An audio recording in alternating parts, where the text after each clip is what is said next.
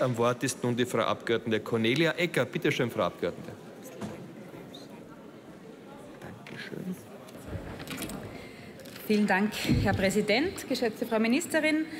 Dass die Förderung von biologischer Landwirtschaft für diese Regierung leider nur ein Lippenbekenntnis ist, wissen wir seitdem das Regierungsprogramm vorliegt.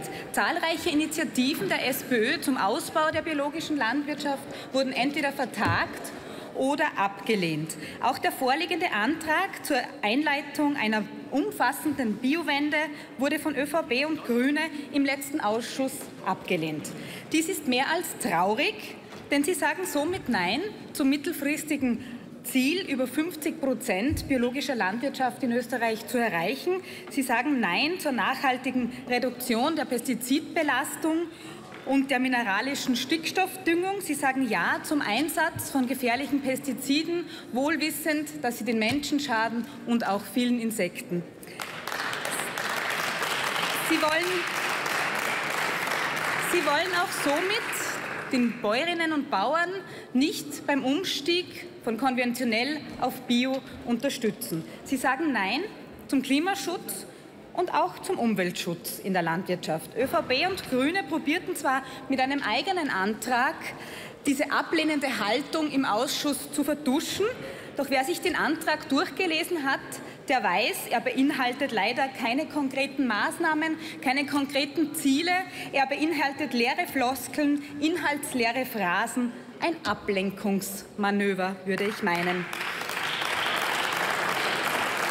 Ist Ihnen eigentlich ist Ihnen eigentlich bewusst, dass in Ihrem Antrag kein einziges Mal Pestizidreduktion vorkommt? Ich appelliere zum Abschluss gerade an die Grünen. Warum stellen Sie sich gegen die Interessen Ihrer Wählerinnen und Wähler?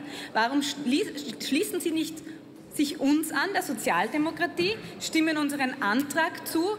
Somit würden Sie mehr an biologischer Landwirtschaft haben, mehr Klimaschutz in der Landwirtschaft und auch den Erhalt der Artenvielfalt. Und weil der Erhalt der Artenvielfalt so eine zentrale Rolle in unserem Ökosystem spielt, stelle ich nun folgenden Entschließungsantrag der Abgeordneten Cornelia Ecker, Klaus Köchel, Robert Leimer.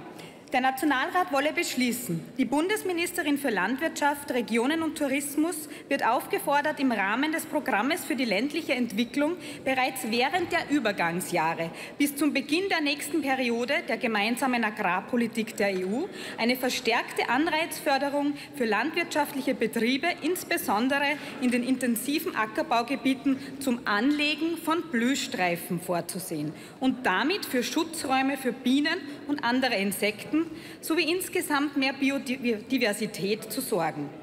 Auch ist Dabei ist auch auf eine Nichtbelastung der Blühstreifen durch Pestizide besonders Wert zu legen.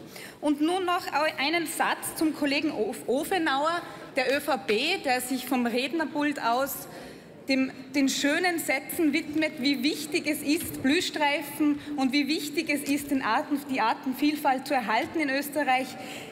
Stimmen Sie diesem Antrag zu, denn es ist leicht, hier zu stehen und blumige Worte zu finden und im Ausschuss dann alles abzulehnen und vertagen. Ich finde das wirklich sehr, sehr schade. Cornelia Egger war das von der SPÖ mit einer Kritik in Richtung ÖVP.